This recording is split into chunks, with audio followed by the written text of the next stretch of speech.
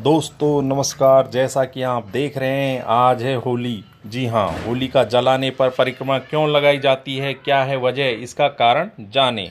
जैसा कि आप सबको पता है, होली का जलाने पर काफ़ी तापमान उत्पन्न होता है। इसके चारों ओर चक्कर लगाने से हमारे शरीर के बैक्टीरिया और कीटाणु मर जाते हैं और मक्खी, मच्छर भी मर जाते हैं, जिससे शरीर स्वस्थ रहता है। जी हाँ इसलिए फ़सल काटने के समय होलिका जलाई जाती है और परिक्रमा लगाई जाती है। यह है इसका वैज्ञानिक कारण।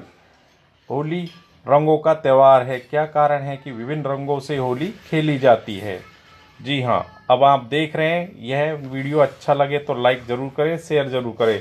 जैसा कि आपको पता है, चिकित्सा पद्धति में विभिन्न रंगों का प्रयोग किया जाता था चाइना तथा मिस्र के अंदर। जी हाँ जिसका सीधा सीधा प्रयोग इलाज में किया जाता था। हमारे यहाँ होली का खेलने का उद्देश्य रंगों से शरीर को स्वस्थ रखना और माइंड को फ्रेश यानी बूस्ट करना है। यह वास्तविक और सत्य बात है वैज्ञानिक कारणों के अनुसार। वैसे तो हमारे यहाँ होलिका से प्रहलाद और होलिका के, की कहानी जुड़ी हुई है जो कि भूतकाल में घटित हुई थी।